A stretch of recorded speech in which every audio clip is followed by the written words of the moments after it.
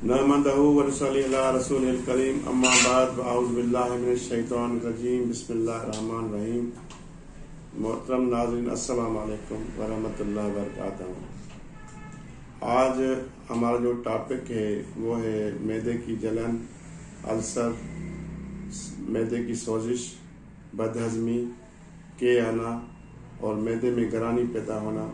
उसके लिए मैं आज आपको एक ऐसी प्रोडक्ट के बारे में बता रहा हूँ। इन अगर आप इस्तेमाल करेंगे तो वो उससे आपको अफाका होगा। मोज़ नाजरीन, जिसने हमारा पेज लाइक नहीं किया, वो लाइक करें शेयर करें सब्सक्राइब करें, ताकि आने वाली वीडियो जो है वो आप तक पहुँच सके। चलते हैं अपने प्रोग्राम की जानब। ये शरबत राहत शिकम है।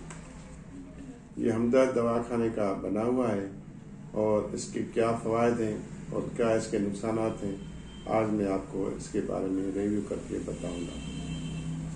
राहत शिकम, बदहजमी, सीने की जलन और तबखीर को जल्द आराम देने के लिए ये शरबत है, इसके ये फ़वाद हैं।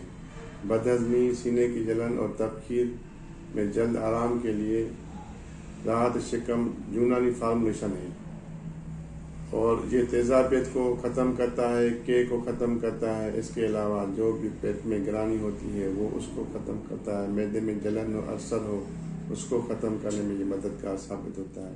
और जिसकी कब्ज़ वगैरह हो या मादा सही काम नहीं करता हो या अल्सर की शिकायत हो, मैदे में तेज़ाबियत हो, बदहजमी हो, भूख नहीं लगती हो, और तबखीर हो तबखीर हो, मैदे में तबखीर हो और मैदे में जलन हो, मैदे में गिरानी हो, मैदा फूल जाता हो री वगैरह, गैस वगैरह खारिज नहीं होता हो या पेट में दर्द होता हो तो उसके लिए ये शरबत, राहत, शिकम बहुत ही उमदा और कराबादी नुस्खा है।